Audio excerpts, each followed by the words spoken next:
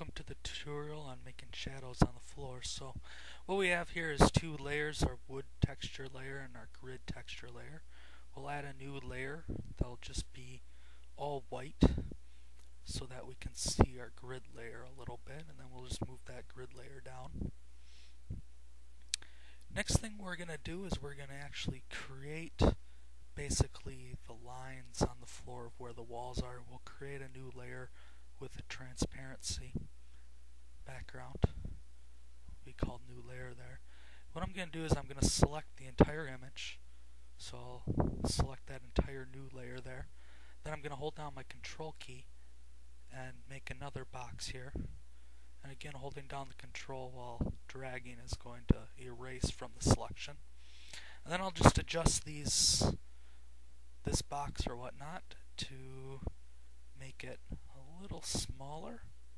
And once I'm done fussing with that, I'll fill it in with a black line. And now we got our outside perimeter of our floor. That'll be our new uh, our new shadow there. I'll then create another layer. Let's just call it red walls or red area walls. I'll be for our build in our right hand corner here. Select that layer. And then again, rectangle select tool, I'm going to draw a box where my walls are going to be at. And see how I'm making it big like that? That's because I want it to only be about 13 pixels wide. So I'm going to go to the tools option, go down to the size, make it 13 pixels, and then I'll just drag and move it to where outer wall is going to be.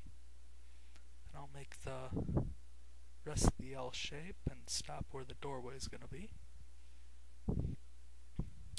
Again, I'm going to go down my size, select 13, and then again, click and move it so that it all comes in as one L shape.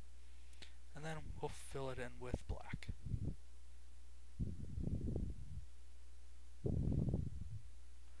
Create a new layer. This is going to be for our blue section of our floor area or our blue walls. Again, it's going to be all transparent. Again, I'm going to draw a rectangle where my wall should be.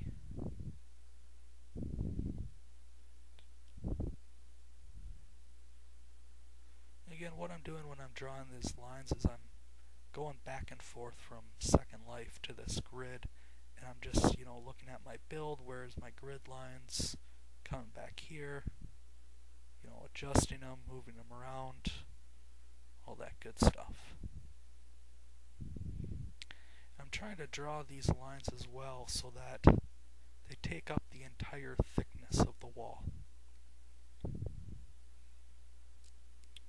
You'll notice with all these boxes, I'm changing their size to 13 and adjusting them.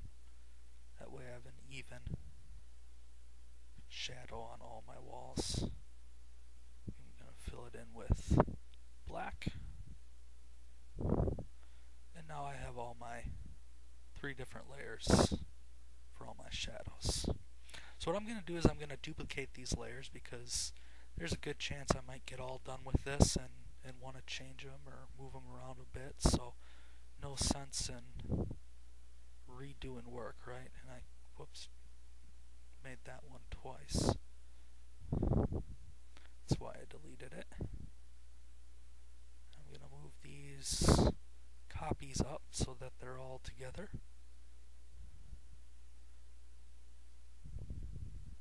And then I'm going to merge them down. Or first I'm going to click on the icon there sure that my old layers aren't visible anymore. If a layer isn't visible, it won't merge down.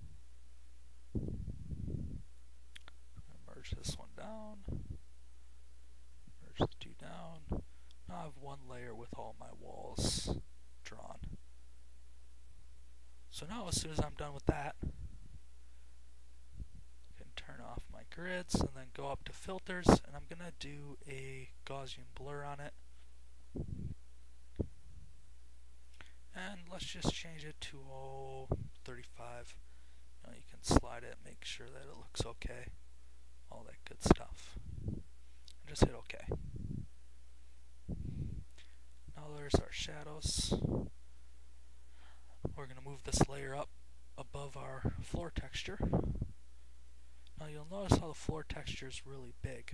Uh, that floor texture is 512 by 512.